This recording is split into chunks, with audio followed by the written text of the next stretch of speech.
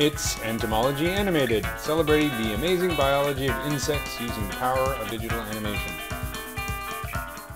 Ting.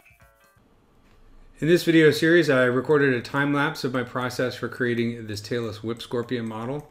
So this is an actual species, a living species of arachnid. Uh, it's called Acanthophrynus coronatus. I'm sure I'm not pronouncing that correctly, but you can check it out on the internet, eol.org, of course, Wikipedia, do an image search. Uh, it's a very cool animal. I've actually had one crawl on my arm at a bug fair. They're very nice. They're they're not at all harmful. They just look really scary. So um, I ordered a molt from my friend uh, Gil Wizen, and it's framed. But what I did is I took it outside, took a bunch of pictures of the molt, so I had some good reference, and try to stay true to it as possible. It is really you know modeling an organism based on its dirty laundry. So there are some you know things that are somewhat inaccurate when you're using a molt for reference as opposed to using a living organism because as you can imagine you know our little bug friend had to discard this molt and actually crawl out of it so it's kind of stretched and the proportions might be a little bit off but there's also plenty of images that i found on the internet. Okay so let's dive into zbrush and see how i started this using z-spheres okay so i'm starting out with z-sphere armature in zbrush and just pulling out the appendages and making sure everything matches the proportions as much as possible so I'm going to convert this into a mesh and then using move, smooth, and inflate, I'm just kind of pulling out the mesh to again match the proportions.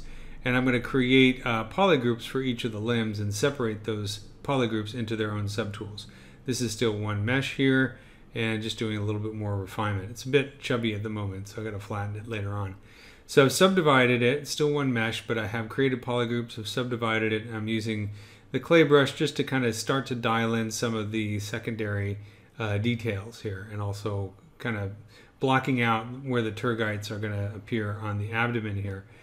Uh, and so what I'm going to do is take all of these polygroups after doing a little bit of refinement here on the whip part. Uh, I'm going to uh, do a group split so that it splits all of those uh, polygroups into separate meshes. So that's how I got the abdomen here. Now it's its own subtool its own subtool mesh. And I'm basically refining the overlapping quality of the tergites by masking the spaces in between and kind of using the move brush to kind of drag them down and H polish brush to keep things kind of nice and clean. It's still on the bit on the uh, on the fat side at the moment. I'm going to flatten it later on.